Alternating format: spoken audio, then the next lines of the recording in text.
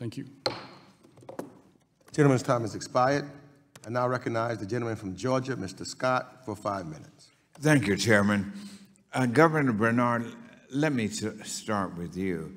In recent weeks, the Fed has had to take extraordinary steps to maintain liquidity in short-term debt markets and repo markets, including the actions of the New York Fed earlier this week. It injected almost $50 billion for overnight repurchase agreements, or repo, to relieve funding pressure in money markets. The last time that this happened was back in 2008, as you probably know, during the financial crisis.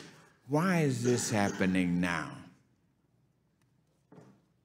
Well, thank you for uh, your question. Uh, So uh, we certainly um, uh, recognize uh, that uh, we have um, important pipes in the short-term money markets, which the repo market is part of, and we want to make sure there's ample liquidity so that we don't see these kinds of frictions.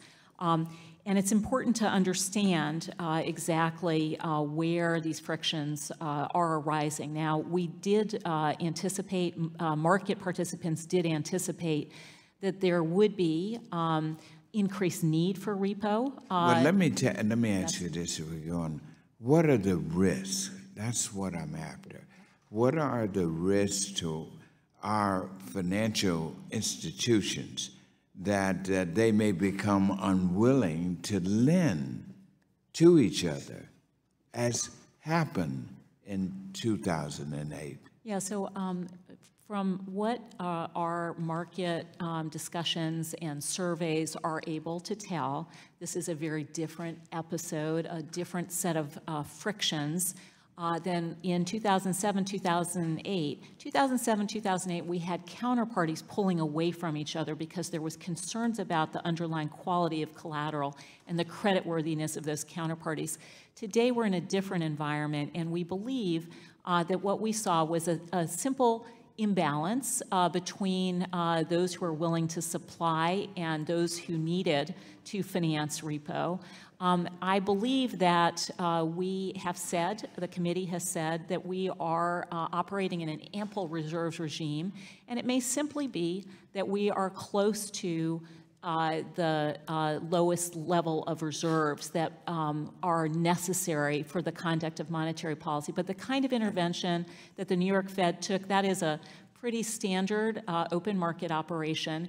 And you know, my own inclination would be to look at mechanisms like allowing the balance sheet to continue organic growth in order to make sure there is enough reserves in the system so we don't see those kinds of frictions. Okay, now, all of this is happening at the same time that there is an upcoming transition from LIBOR to what could be SOFR. Now, um, I think that this poses one of the greatest potential disruptions to our financial system ever. And this is why uncertainty, uncertainty.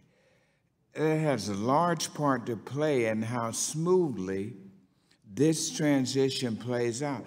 We're talking about $400 trillion in contracts worldwide, $200 trillion in contracts here in this massive change between these benchmark rates. Um, and so we're after a smooth transition in terms of how this new reference rate will perform, and particularly with what we call these uh, transition leg- legacy contracts. so, are you concerned about this volatility uh, and how it may add to the uncertainty associated with this rate change? This is this is a big issue. Can you explain it to us and understand and share with me and the audience and C-SPAN how serious this issue is? Well, thank you. So I think the uh, transition away from uh, the reference rate that was shown to be subject to manipulation um, and is becoming increasingly um, fragile uh, as fewer participants uh, provide input into that rate, um, that transition to a more market-based rate uh, that is going to be more resilient and not subject to manipulation is a very important transition.